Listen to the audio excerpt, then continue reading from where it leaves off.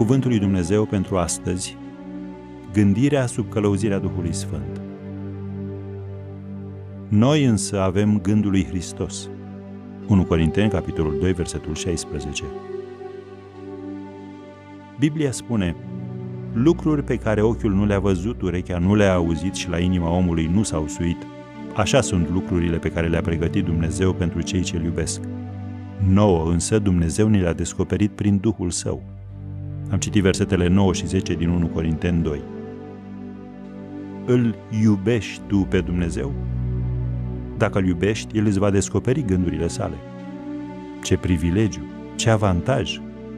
Apostolul Pavel scrie tot în 1 Corinteni 2 la versetul 13 Vorbim despre ele nu cu vorbiri învățate de la înțelepciunea omenească, ci cu vorbiri învățate de la Duhul Sfânt. Am încheiat citatul nu face greșeala de a limita lucrurile spirituale la rugăciune, citirea Bibliei și activitățile de la biserică.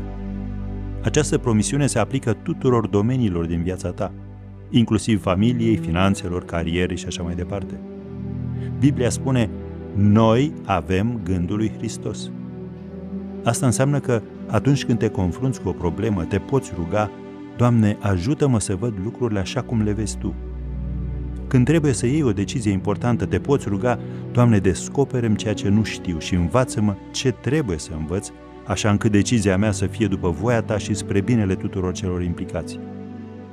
În loc să-L îngrădești pe Dumnezeu în biserică și în așa numitele activități spirituale, cere ajutorul în toate domeniile din viața ta.